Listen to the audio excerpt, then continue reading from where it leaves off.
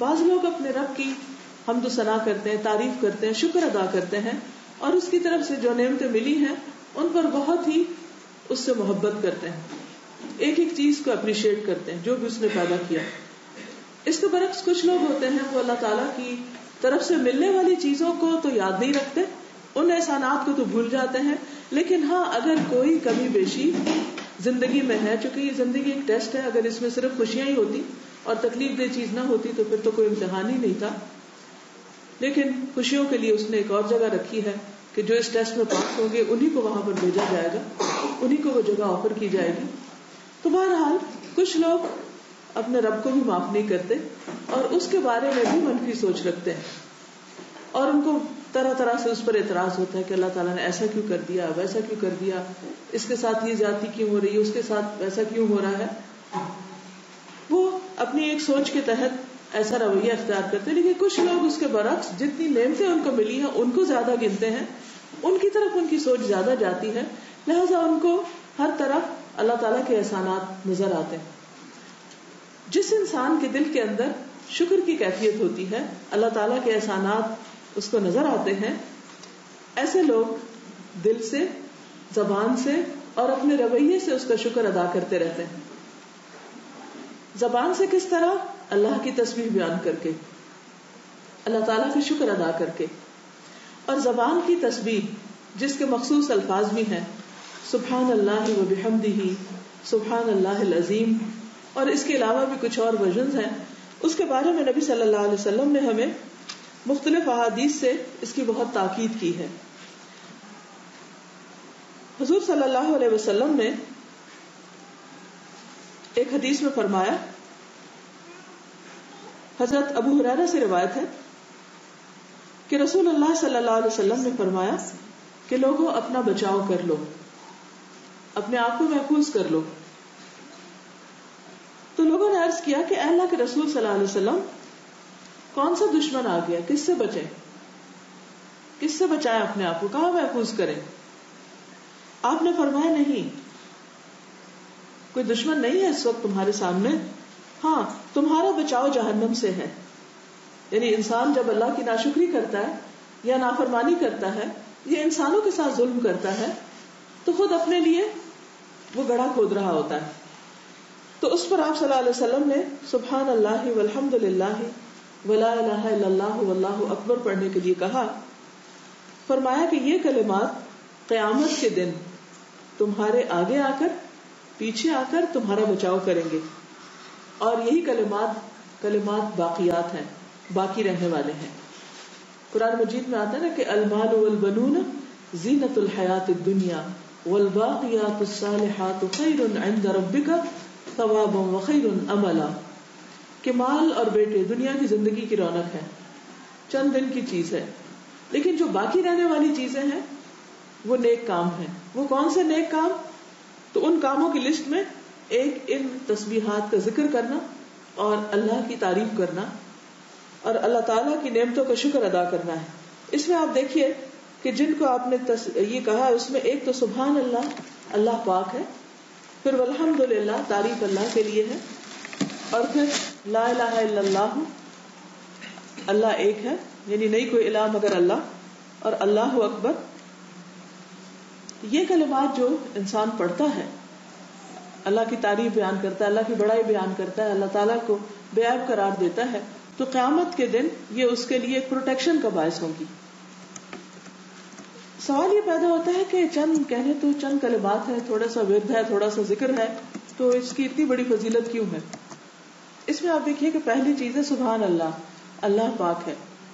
ये कहना क्यों ज़रूरी है? इसलिए ज़रूरी है कि शैतान हमारे दिल में हर वक्त वसवसे डालता रहता है। ये जो क्यों आता है ना, ये क्यों है? मसलन कोई कहता है, नमाज़ पढ़ो तो हम कहते हैं, क्यों? क्यों पढ़े? इबादत करो तो हम कहते हैं, क्यों? तो ये जो क्यों है, ये एक तरह से इसके क्यों भी दो तरह के होते हैं। एक क्यों होता है कि इंसान समझना चाहता है, और ये क्यों तो हज़रत इब्राहिम सलाम ने भी किया था। कि अल्लाह ताला उन्होंने भी क्वेश्चन किया था, फरिश्तों ने भी क्वेश्चन किया था, उन्होंने भी क्यों कहा था? क्यों कहना बुरा नहीं है? अल्लाह ताला ने जब अपना इरादा पेश किया फरिश्तों के सामने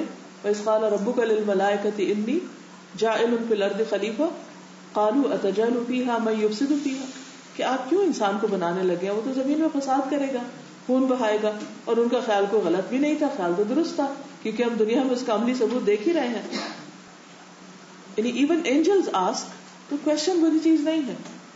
इतमान कल्ब के लिए क्वेश्चन आता है दिल में कि इंसान किसी चीज़ की हकीकत को समझे। इसी तरह और मौके पर भी, हज़रत सलाम के बारे में आता है कि वो कहीं जा रहे थे, रास्ते में एक बस्ती पर से गुजरे तो वहाँ पर बस्ती जो थी वो पूरी की पूरी तबाह हो चुकी। तो उनके जर में भी क्यों आया? कैसे? कि ये कैसे उठाएगा अल्लाह ताला इसकी? दोबारा सब कैसे बनेंगे? मरना, मरने के बाद जी उठना, फिर हिसाब किताब, फिर ये कैसे, क्यों? किस तरह? ये सवाल सबके जहन में आते हैं। खुद अल्लाह ताला की जात के बारे में सवाल आते हैं। सवाल का आना बुरा क्योंकि सवाल रास्ता खोलता है इल्म हासिल करने का। ये क्यूरियोसिटी इंसान के अंदर रखी इसीलिए गई है, ताकि इंसान कुछ सीख सके, कुछ हासिल कर सके। अगर ये सवाल ना होते तो हम अकल का इस्तेमाल कहाँ से करते? तो जब पॉजिटिवली हम सवाल करते हैं तो इसमें कोई हरज नहीं है कि बात को मजीद समझने के लिए। लेकिन एक सवाल होता है एतराज़ के लिए।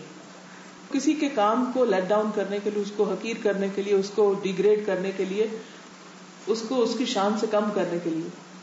तो ये दूसरी तरह का सवाल अगर जहन में आता है कि जिससे नवजुबिल्ला अल्लाह ताला के बारे में ऐसा ख्याल आए या ऐसा एतराज़ हो कि इंसान समझे कि ये जो कुछ किया है, इसका कुछ फ़ायदा नहीं है और ये करना नहीं चाहिए था। अल्लाह ताला को नवजुबिल्ला या ये कि ये क्यों और ये तो इट्स अनफेयर इट्स अनजस्ट वगैरह वगैरह।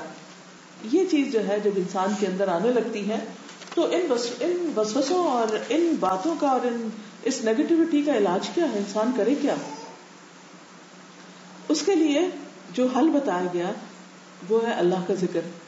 कि इंसान के दिल में जो ही ऐसी कोई बात आए तो इंसान के सुबहान अल्लाह अल्लाह पाक है, इस बात से कि कोई भी गलत काम करे, या कोई ना इंसाफी का फैसला करे, या किसी के साथ जुल्म करे, या किसी के साथ ज़्यादा करे, उससे तो सबसे पहली सिफत जो कुरान मजीद में अपनी बयान की है बिस्मिल्लाहमान रहीम के वो इंतहाई मेहरबान बार बार रहम करने वाले हैं तो इसलिए उसकी तो कोई भी चीज़ जो है वो ऐसी नहीं हो सकती कि जिसमें कोई नक्स हो।